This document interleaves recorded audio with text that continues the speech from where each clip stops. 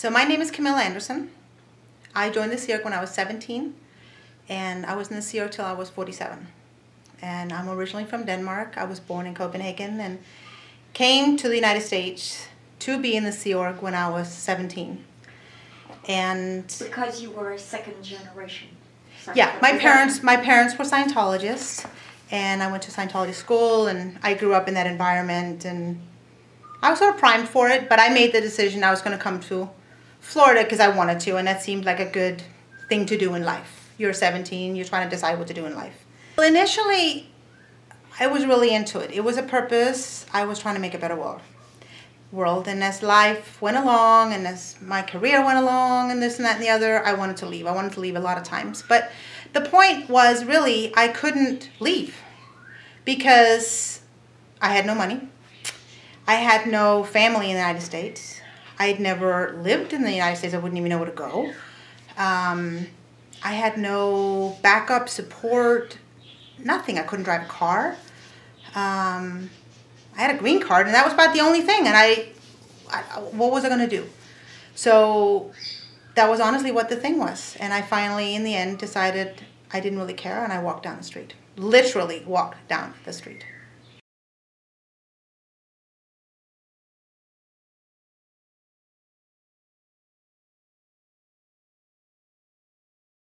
After I arrived in the Sea Org, um, I was in the CMO, in the Commodore's Messenger Organization, and I was in that for 19 years, which is an upper, upper level, upper management, you can call it. Yeah. What does the Commodore Messenger all do? They police, they see to it that L. Ron Hubbard's personal projects, orders, um, advices, etc., gets done and get complied with. That is a simple way of explaining what so they do. So most Sea Org bases have a CMO unit. Every single Sea Org base has. In back in the day when I started, they didn't. There was just like four of them. But as we went through time, more were started and so forth. And I um, I was in the one at the um, Gold Base. I was in CMO SU, it was called at first, and then it was CMO Gold. Is it fair to say you got less punishments and less atrocities because you were CMO? It's a double-sided coin because on the one hand, yes, that's true. There was a lot of things I didn't go through. But on the other hand, if you messed up on something, the order of magnitude of what you messed up on was so magnified that it was way worse. So it was a double-sided coin, double-sided sword. Like I don't really know how to answer that really because it was both ways. Okay. So you start off fairly new at IntBase and they start what we loosely call pig's berthing, which is you're deprived of going back to your bedding and your own pillow. Tell me about that. I wasn't getting done what I was supposed to get done. So my penalty was to sleep on the golf course, which at that time was very common. A lot of people was being sent to sleep on the golf course. They would usually bring their sleeping bag, I guess, and sleep on the golf course. I was 18 at this point, and I the concept of me sleeping out in the wilderness scared the living daylights out of me, so I didn't do that. So I went to the garage instead and found a chair way back in the corner somewhere, and I sort of crawled up and tried to go to sleep, and I but I could hear the little you know, the little mice rat thing. Ugh, gave me the chills. It was awful. Anyway, so I didn't really sleep at all. I just sort of sat there and tried to figure out what I was going to do. So it was punishment for non-compliance. Yes, I was supposed to get. Um, I was executing an evaluation at the time, and the evaluation was to get sales lines in from the gold base out into the other continents of selling. Um, not selling, but basically the org having the materials of Dianetics and Scientology to sell. So it was found out about that I didn't go to the golf course to sleep. So then the next night I was sent to the golf course. And I found an old oak tree out on the east side and I sort of sat in the tree instead of sleeping on the ground. I still could not deal with the thought of sleeping on the ground. So I sort of sat there and fell asleep a little bit or whatever. And as soon as it started getting morning-ish, I went back through um, the security. It was called the garage. The nickname was 105, but uh, it was basically where the security guards were sleeping, and I had to pass that in order to go back into the property. So I waited until it was like a time where I would be seen coming back in so I wouldn't get in trouble again. I'd have to go back and do it again.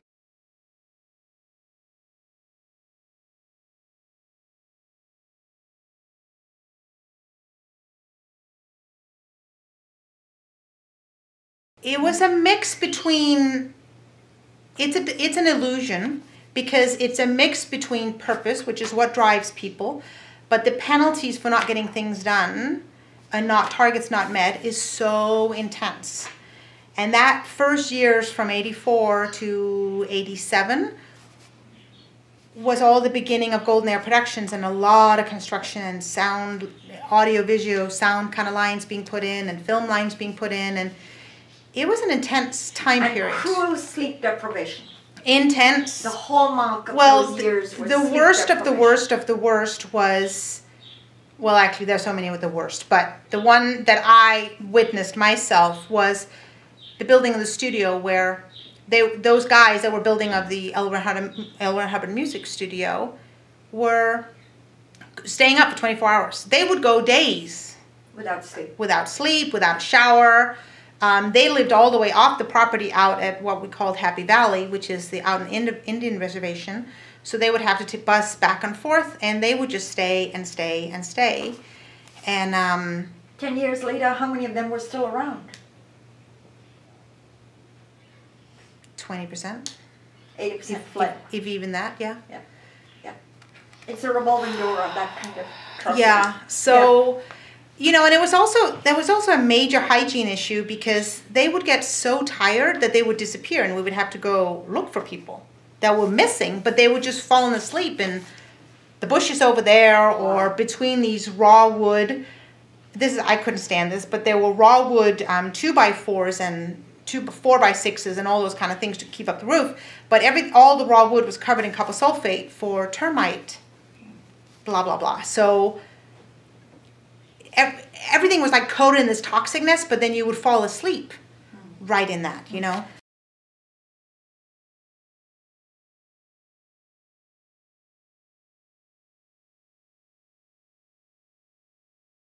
I mean, they had no idea that that was what it was when they signed up, you know, and the whole thing that was pushed was, you know, this is before 1986, and L. H. L. Ron Hubbard was going to come back.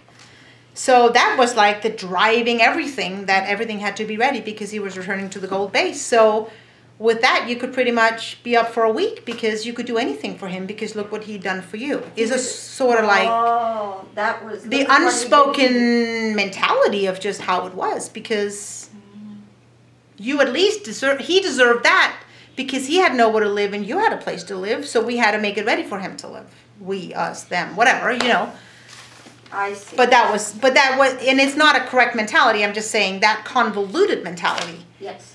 so and the worst part about it too in addition to everything we just spoke about is the fact that they weren't trained on construction so now they're deep they're sleep deprived you go mentally numb after you don't sleep and then what now that's my view You're on a it walking robot. yeah.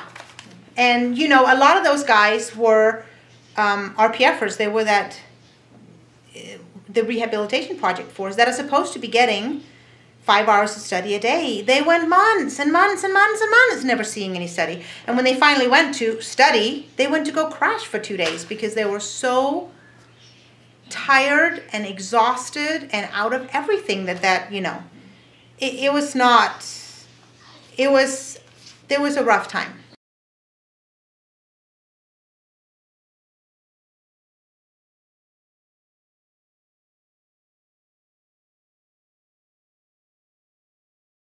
In 1998, I was personally the recipient of that. Um, I had received confessionals from a slideshow production that I had done, and I did not have my files in order. We couldn't find stuff. There was a lot of things that went on, and I definitely didn't have my cards all lined up for that production. So anyway, I ended up under confessional. That was one thing. But the thing was that the group that I worked with, which was like 30, 35 people, which was my organization, CMO Gold, um, they were all gathered in the conference room of what became the hole, the SP hole, I think they called it later. So we were in the conference room there, and uh, Jennifer DeVocht, which was senior to us, was reading out my confessionals.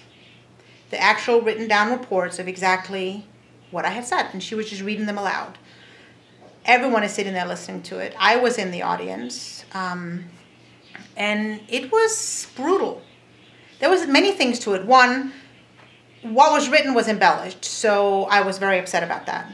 Um, it took away any private life I had of anything, any emotions, feelings, thoughts, things I did. Everything was just done. You talked to an auditor thinking that this was one on one. Yes. And that you were protected by the sanctity of a session. That's right. Well, I knew it was I'm not auditing you, which means that you're what you're saying is going to become a knowledge report, which is pretty standard, except I've never experienced it being read out to everybody. Right. So that was really nasty. So And- you, give up your private conf- confessional Yeah. stuff, and now it's being read out to humiliate you. To humiliate me, to get me to take responsibility for it was the thought behind it. It really didn't. It really upset me even more. Um, and to make me have change because I wasn't making change. Um, on top of that, what was horrible about it is that my husband, I was married at the time, we were in the same organization, he was sitting in the group. And that was I never spoke to him really about it because I was we were separated. Like I was living in one location, he was living in another. We weren't you know, we weren't talking. And um except after the whole thing was done and said. Now, mind you, you need to understand this went on for days. By the way, this was this were like two hour long meetings over Camilla's what she had done, everything read out to the entire group. Um, it was horrible, beyond the beyond the beyond. So anyway, uh, that happens, and then in the end of that whole thing, like two weeks later, I was sent to, I was in route to, I hadn't been sent officially yet, to the rehabilitation project force. And I was sitting in a little interview space over in the production building on the other side of the street. And my husband, who I hadn't seen, came in and he opens the door and he goes, I cannot believe you. You are despicable. And he closed the door, and that is the last I ever spoke to my husband.